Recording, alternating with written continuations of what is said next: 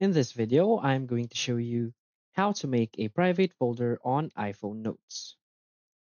So please watch the video until the end and follow this tutorial step by step to avoid making mistakes. So let's get started.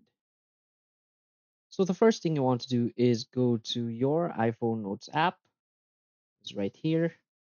Now you want to create a folder that you want to make private. So in my case, I already created this test folder. So first you want to open the folder.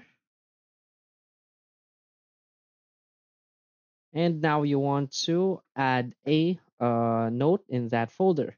So uh, there is no way to automatically lock a folder, but what you can do is open the folder and add a note to that folder.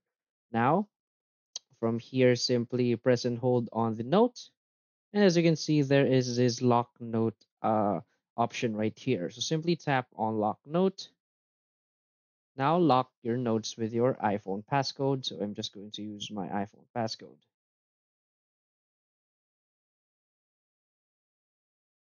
So now we can also enable Face ID, but for now, let's just not use it. So now that this note is already locked, you can go back and you can now simply close the Notes app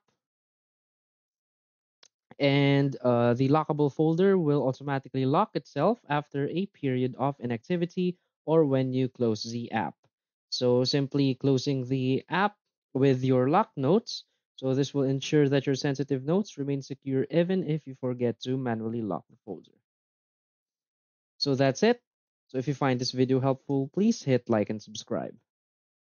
Thanks.